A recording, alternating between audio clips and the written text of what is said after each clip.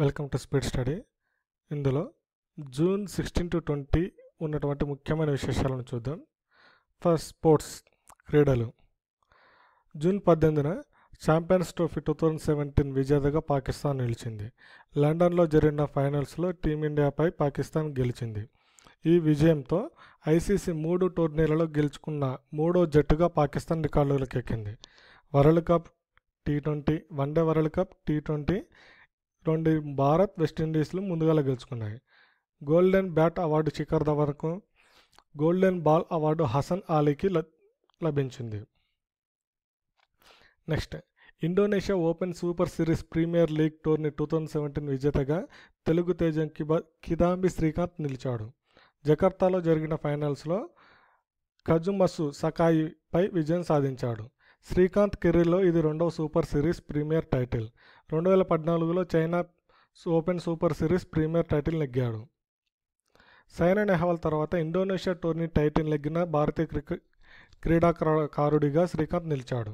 Super series premier super series grand prix gold titles కైవసం చేసుకున్న తొలి భారత పురుష క్రీడాకారుడిగా శ్రీకాంత్ బ్యాడ్మింటన్ చరిత్రలో నూతన అధ్యయనం లిఖించాడు లండన్లో జరిగిన ప్రపంచ హాకీ లీగ్ సెమీఫైనల్స్లో ఫుల్ బి మ్యాచ్లో భారత్ ఏడు ఒకటితో పాకిస్తాన్పై విజయం సాధించి క్వార్టర్ ఫైనల్లో ప్రవేశించింది.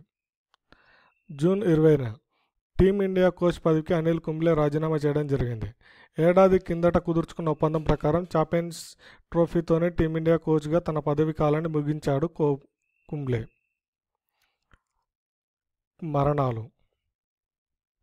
ప్రచన్న యుద్ధంతో విడిపోయిన జర్మనీ పునరేకీకరణ పితామహుడు ఐరోపా ప్రముఖ రాజనీతిజ్ఞుడు హెల్మెట్ కోల్ హెల్మెట్ కోల్ మరణించాడు.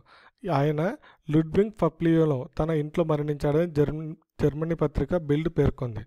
బెర్లిన్ గోడ కూలిన తర్వాత ఐరోపా ఐక్యతకు కోల్ ఎంతగానో కృషి చేయడం జరిగింది.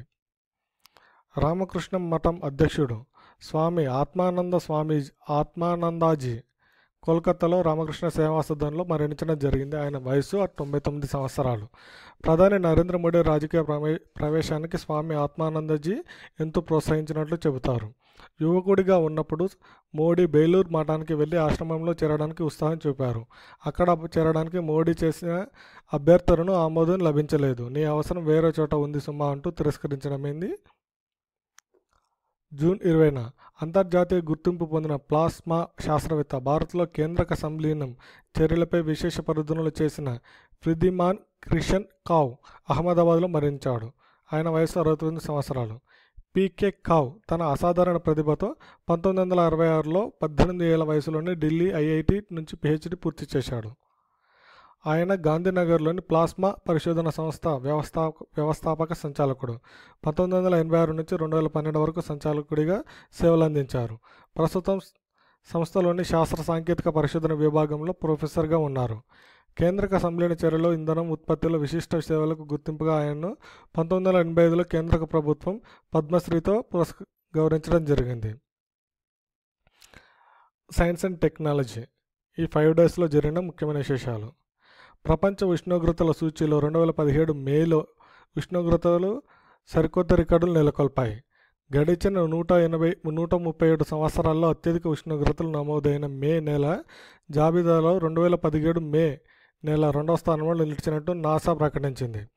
గత మే నెలలో ఉష్ణోగ్రత సగటు మే నెల ఉష్ణోగ్రత కంటే జీరో పాయింట్ తొమ్మిది మూడు డిగ్రీ సెల్సియస్ ఎక్కువగా నమోదైంది.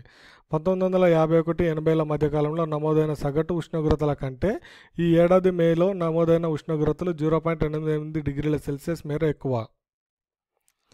పిడుగుల తీవ్రత నేలపై కంటే సముద్రంలో మీద ఎక్కువగా ఉంటుందని ఫ్లోరిడా ఇన్స్టిట్యూట్ ఆఫ్ టెక్నాలజీ శాస్త్రవేత్తలు తమ అధ్యయనంలో వెల్లడించారు. అమెరికా జాతీయ పిడుగు పరిశోధన సంస్థ సహకారంతో ఫ్లోరిడాలోని పలు ప్రాంతాల్లో వీరు అధ్యయనం చేయడం జరిగింది. ఇంతవరకు సముద్రంపై పడే పిడుగుల శక్తివంతమైనవని పలువురు నమ్ముతూ వస్తున్నారు. వీరి నమ్మకాలు నిజమైనవని తాజా అధ్యయనం వెల్లడించింది. పిడుగులు నేలపై కంటే సముద్రాలు పడేటప్పుడు ప్రసరణ దూరం తక్కువగా ఉండడం వల్ల తీవ్రత ఎక్కువగా ఉంటుందని వెల్లడించారు. అలాంటి సమయాల్లో సముద్రాలపై ఉండేవారికి ప్రమాదం ఎక్కువగా ఉంటుందని శాస్త్రవేత్తలు పేర్కొన్నారు. జూన్ పదిహేడున హాకింగ్కి హాకింగ్కి పరిసర ఆస్కారం లేని భద్రతమైన ప్రపంచవ్యాప్త క్వాంటం ఇంటర్నెట్ సాకారం చే దిశగా చైనా శాస్త్రవేత్తలు ముందడుగు వేశారు. పరస్పరం బంధాన్ని ఏర్పరచుకున్న ఫోటాన్ల కాంతి రేణువులను ఒక ఉపగ్రహం ద్వారా ఏకంగా ఏడు వందల మైళ్ళకు పైగా దూరంలో ఉన్న భూకేంద్రకాలకు విజయవంతంగా చేరవేశారు. ఇప్పటివరకు సాధించిన దూరం కంటే ఇది పది పది రెట్లు ఎక్కువ. చైనాలోని యూనివర్సిటీ ఆఫ్ సైన్స్ అండ్ టెక్నాలజీకి చెందిన జియాన్ యోమ్యాట్స్ నేతృత్వంలోని శాస్త్రవేత్తలు ఈ ప్రయోగాన్ని నిర్వహించారు. ఈ విధానంలో రేణువులను పరస్పరం సంధానించడం ద్వారా ఎన్క్రిఫైడ్ సమాచారాన్ని ఎన్క్రిఫైడ్ సమాచారాన్ని క్వాంటం నెట్వర్క్స్ ద్వారా ఒక చోట నుంచి మరొక చోటకు చేరవచ్చు. ఈ సమాచారాన్ని రహస్యంగా మధ్యలో తిలకించే అవకాశం లేదు. ప్రస్తుత ఇంటర్నెట్లో ఈ ముప్పు ఉంది. ప్రపంచంలోనే తొలిసారిగా చైనా పంపిన క్వాంటం ఉపగ్రహం మికియాస్ ఉపయోగించడం ద్వారా తాజా ప్రయోగాన్ని శాస్త్రవేత్తలు నిర్ణ నిర్వహించారు. జూన్ పద్దెనిమిదిన బంగాళదుంప విత్తనాలు పట్టు పురుగు గుడ్లతో కూడిన ఒక మినీ పర్యావరణ వ్యవస్థను తొలిసారిగా చంద్రుడి మీదకు పంపాలని చైనా నిర్ణయించింది. జాబిల్ ఉపరితలం మీద జీవులు ఎలా వృద్ధి చెందుతాయో అధ్యయనం చేయడం ఈ ప్రయోగం ఉద్దేశం. తద్వారా భవిష్యత్తులో చందమామ మీద మానవ ఆవాసాలకు వీలు కల్పించాలని శాస్త్రవేత్తలు భావిస్తున్నారు. బంగాళదుంప విత్తనాలు పట్టు పురుగు గుడ్లతో కూడిన ఒక మినీ పర్యావరణ వ్యవస్థను చంద్రుడిపైకి పంపించడానికి చైనా శాస్త్రవేత్తలు ప్రయోగం ప్రారంభించారు. మూడు కిలోల బరువైన ఈ మినీ పర్యావరణ వ్యవస్థను చోకింగ్స్ విశ్వవిద్యాలయానికి చెందిన పరిశోధక బృందాలు రూపొందించాయి. వచ్చే ఏడాది ప్రయోగించే చాంగే ఫోర్ వ్యోమనౌక ద్వారా దీన్ని చంద్రుడి మీదకు పంపుతారు. ఈ వ్యవస్థలో పద్దెనిమిది సెంటీమీటర్ల పొడవైన సిలిండర్ ఉంటుంది. అందులో బంగాళదుంప విత్తనాలు పట్టుపురుగు గుడ్లను ఉంచుతారు. ఈ పట్టుపురుగు పొదిగి కార్బన్ డైఆక్సైడ్ సృష్టిస్తాయి. మరోవైపు బంగాళదుంప మొక్కలు ఆక్సిజన్ను సృష్టిస్తాయి. ఈ మినీ పర్యావరణ వ్యవస్థను మొక్కలు కీటకాల ఎదుగుదల దృశ్యాలను ప్రపంచం మొత్తానికి ప్రత్యక్ష ప్రసారం చేస్తామని శాస్త్రవేత్తలు వెల్లడించారు. జూన్ ఇరవైన సౌర వ్యవస్థ వెలుపల రాతి ఉపరితలంలో భూమిని పోలి ఉన్న చిన్న ఉపగ్రహాలు మరో పది ఉన్నాయని కెప్లర్ అంతరిక్ష టెలిస్కోప్ గుర్తించింది. భూమిని పోలి ఉన్న గ్రహాలు విశ్వంలో ఎక్కువగానే ఉన్నాయా? అరుదా అని తెలుసుకోవడానికి కెప్లర్ టెలిస్కోప్ నాసా రెండు వేల తొమ్మిదిలో ప్రయోగించింది. తొలి నాలుగేళ్ళ కార్యక్రమంలో సౌర వ్యవస్థ విలోపాల గుర్తించిన పో- గ్రహాలను పోలిన రెండు వందల పంతొమ్మిది ఖగోళ వస్తువులపై అధ్యయనాన్ని తాజాగా విడుదల చేసింది. ఇవి నక్షత్రాల చుట్టూ ప్రతిబింబిస్తూ గ్రహాలే కావచ్చని విశేషిస్తున్నారు రెండు వందల పంతొమ్మిది గ్రహాల్లో కనీసం పది పరిమాణంలో ఉష్ణోగ్రతలతో పోలిన భూమిని పోలిని ఉన్నాయి. పది రెండు వేల పంతొమ్మిది గ్రహాల్లో కనీసం పది గ్రహాలు పరిమాణంలోనూ ఉష్ణోగ్రతలోను భూమిని పోలి ఉన్నాయి. వీటిపై జీవానికి అనువైన పరిస్థితులు ఉండవచ్చని శాస్త్రవేత్తలు అంచనా వేస్తున్నారు. కెప్లర్ తన తొలి నాలుగేళ్ళ కార్యక్రమంలో సౌర వ్యవస్థ వెలుపల రెండు వందల ముప్పు రెండు వేల మూడు వందల ముప్పై ఐదు గ్రహాలను గుర్తించి నిర్ధారించింది. గ్రహాలు అయ్యే అవకాశం ఉన్న వాటికి మరో పంతొమ్మిది పదహారు వందల తొంభై తొమ్మిది ఉన్నట్లు గుర్తించింది. అంటే మొత్తం మీద గ్రహాలు గ్రహాలను పోలి ఉన్నవి నాలుగు వేల ముప్పై నాలుగు ఉన్నట్లు గుర్తించింది. వీటిలో భూమి పరిమాణం ఉష్ణోగ్రతను పోలి యాభై ఉన్నట్లు గుర్తించింది.